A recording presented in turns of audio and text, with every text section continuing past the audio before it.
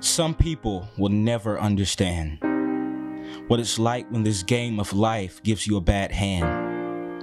When you constantly get knocked down and no one gives you a chance. You beg, scratch, claw to make ends meet, but in the end, you only feel defeat. You see, I can't scrub this off. It's not a costume and it sure ain't a flaw. It's my life, it's my blood to the end. It's my family, my history that I represent. This skin represents generations of innovators, creators, and trailblazers who gave their life to make the world a better place. Sadly, this world still spits in our face.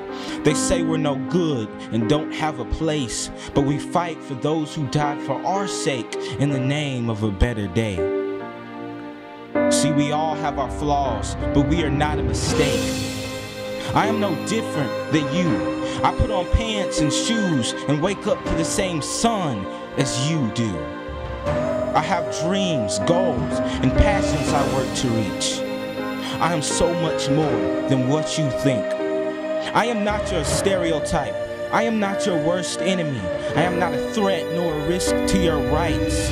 I'm just a man who wants to live and breathe without the threat of his life.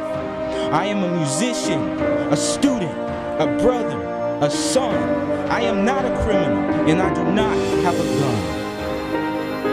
I am more than what you think, and I have a lot to prove to show that we deserve the same rights as you.